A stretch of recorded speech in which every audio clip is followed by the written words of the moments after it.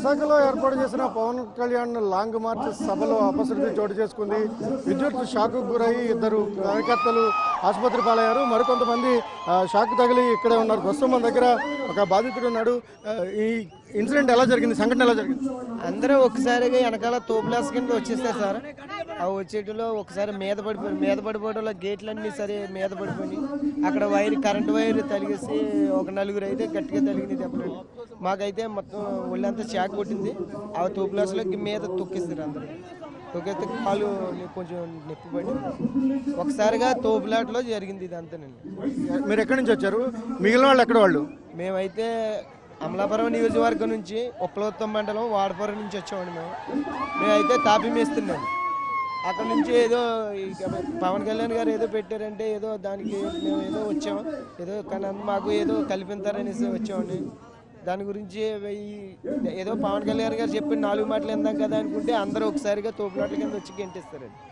గెంటేస్తే current shock కలిగింది మొత్తంగా బాధితులు అయితే ఇంకా కొంతమంది ఉన్నారు. అయితే ఇద్దరు కాస్త తీవ్రంగా గాయాలైన వాళ్ళందరినీ కూడా ఆసుపత్రికి తరలించారు. వారి పరిస్థితి నిలకడగానే ఉందని వైద్యులు చెప్తున్నారు. ఇక మనం ఇక్కడ చూడొచ్చు పూర్తిగా ఈ బారికేడ్లన్నింటినీ కూడా తోసి పడేసిన పరిస్థితి కనబడుతుంది. ఒక్కసారిగా పవన్ కళ్యాణ్ డయాస్ మీదకి వచ్చినప్పుడు లాంగ్ మార్చ్ ముగించుకుని వచ్చిన సమయంలో తోపులాట జరిగింది. తోపులాట జరిగినప్పుడు ఈ వైర్లు అయితే ఏవైతే ఎలక్ట్రికల్ ఇక్కడ లైట్ల కోసం లైట్ల కోసం ఏర్పాటు చేసిన కేబుల్స్ ఉన్నాయో కేబుల్స్ అన్నింటినీ కూడా ఒక్కసారిగా ఆ, దాటుకొని లోపలికి వచ్చే ప్రయత్నం చేయటం. బారికేడ్లు దాటిన తర్వాత వైర్ల మీద పడిపోవడంతో ఆ, షాక్కు గురయ్యారు.